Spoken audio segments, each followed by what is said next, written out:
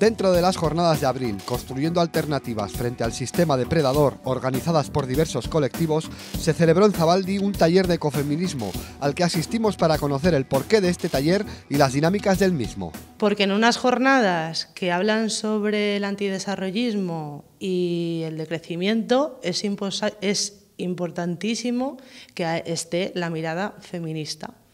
Y por eso hay un taller de ecofeminismo que engloba la visión decrecentista, de ecologismo social y de feminismo. Nosotros planteamos el taller sobre todo como, como un debate, ¿no? aproximarnos al debate de que o sea, los límites ya hemos llegado. ¿no? Hemos llegado estamos en una crisis de cuidados y ecológica o ambiental que está ya aquí, ¿no? está patente, se ve, estamos, mm, se ha agotado ¿no? los límites de los recursos planetarios, hemos llegado a, ese límite, lo hemos traspasado, y lo mismo con la paciencia de todas las mujeres que han hecho todos los trabajos de cuidados ¿no? y de mantenimiento de la vida. Entonces, como que el taller plantea sobre todo, en, englobándolo en esas dos crisis, ¿no? de cuidados y, y ambiental, plantear un debate porque el decrecimiento va a venir y el Estado va a imponer, o sea, el Estado, el sistema ideológico capitalista patriarcal, que nosotras creemos que es en el que vivimos, ¿no? va a imponer un decrecimiento patriarcal y ecofascista. O sea, van a, decrecer aquí eh, las pobres, las mujeres, etcétera, ¿no? Ellos no van a decrecer.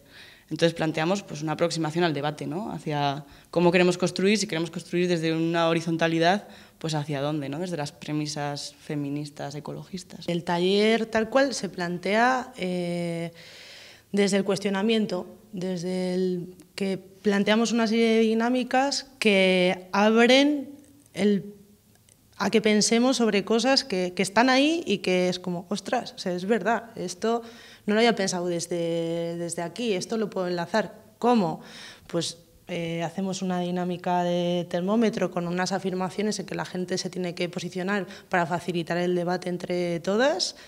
Luego continuamos con... Hablando sobre todo de mm, qué cosas son necesarias para la vida en otra dinámica, ¿no? Y cuáles dan beneficios y cuáles no, y cómo estas se contraponen, digamos. Hacemos una visibilización de las luchas feministas, ecologistas y ecofeministas y nos vamos a plantear y cuestionar hasta qué punto las conocemos y cuáles son más visibles y cuáles son menos visibles. Luego intentamos hilar lo que nosotras creemos, pues de dónde venimos o a dónde, las preguntas de hacia dónde queremos construir, ¿no? Dejándolo abierto al debate porque esto es un camino, ¿no?